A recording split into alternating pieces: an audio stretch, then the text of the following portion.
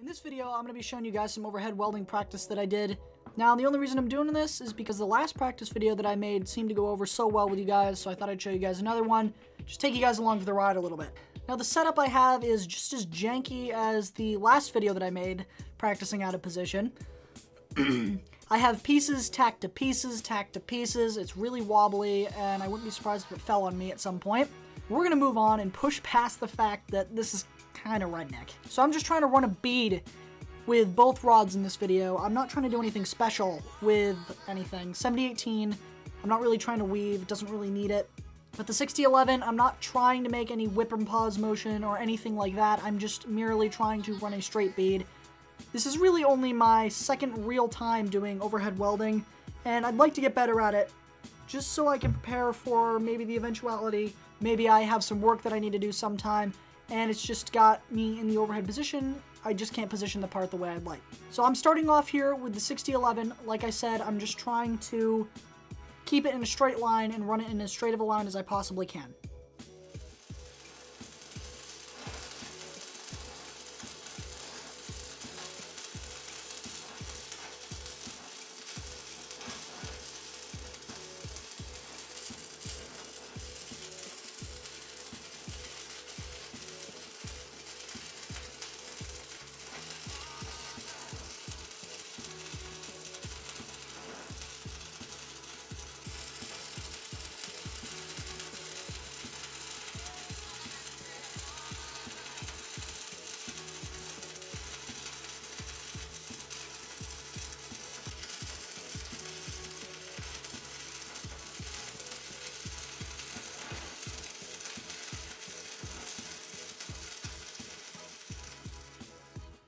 Now the welds did turn out alright, you'll have to take my word for it as I forgot to film them.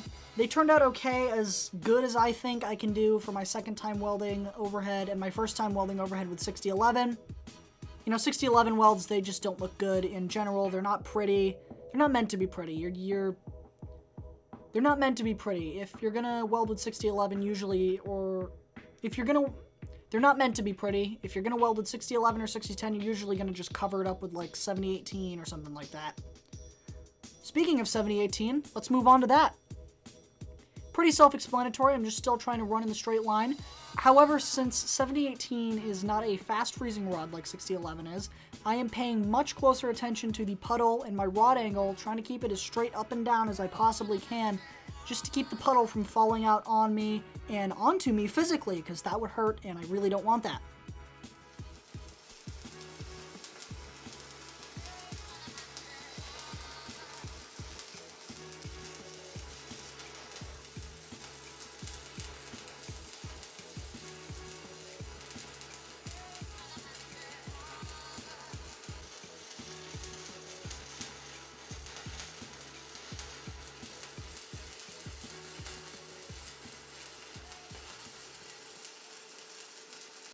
Again, the 7018 welds look as good as I think I can make them do for now with my limited skill set and my limited knowledge of overhead welding.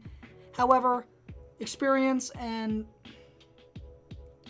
experience comes with practice, so I just need to do this more. I'm really enjoying welding overhead. It's a bit of a pain, it's a little bit uncomfortable, but it's really good practice and it's just it's just different.